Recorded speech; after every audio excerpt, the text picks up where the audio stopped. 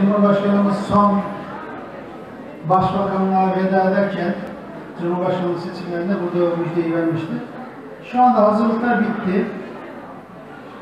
Zannediyorum sonbaharda ihalesi yapılıp Mutay'da teslim edilecek. Kısa bir sürede de biteceğini düşünüyoruz. İnşallah bu bölgeye hayır, hayırlı olur. Sayınımıza çok yakın. 5-6 dakika içinde inşallah artık Trabzon'a 40 dakika gitmeye yer İnşallah ona atmış oluruz. milletvekili abi olması gerekiyor. Siz takdir ederlerse sizi Ulaştırma Bakanı olarak görmek isteriz. Başarılısınız çünkü. Böyle bir görev verilirse ne yaparsınız efendim? Şimdi arkadaşlar eee böyle bir görev tebliğ edilirse de bunu söylemek doğru değil. Şöyle, bir ekipte bir pazarlıkta bir şey istediğiniz zaman o asla olmaz. Olmaması lazım. Ben böyle bir görevi e, yapacak arkadaşlar zaten şu anda çok iyi bir şekilde yapıyor. Zaten hep beraber çalışıyoruz. Havacılıkta beraber çalışıyoruz en azından.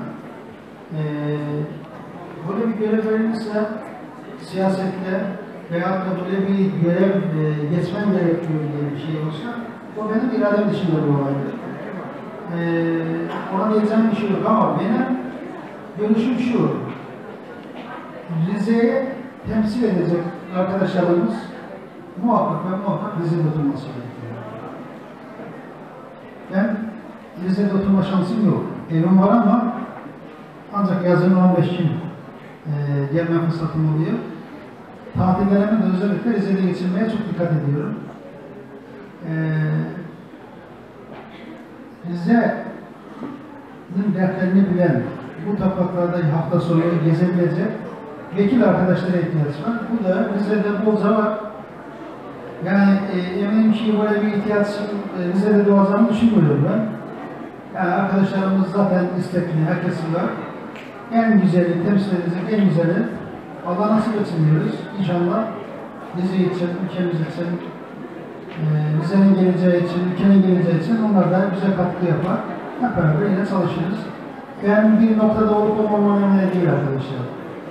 Benim doğduğum topraklara, yaşadığım bir süre topraklara, babamın, dedemin yaşadığı bu topraklara borcumu ödemeye çalışıyorum. Ödedim diyemem, hiçbir zaman ödeyemeyeceğim tabii.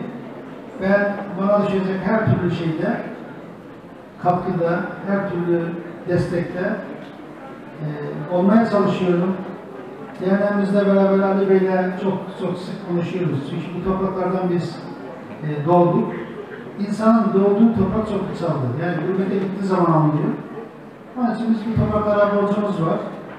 Bize düşen bir şey olursa her zaman bunu ifade etme noktasında hiç çekinmeyiz. Zaten bugüne kadar da olduğumuz noktada da Rize'ye katkı yapmaya çalıştık.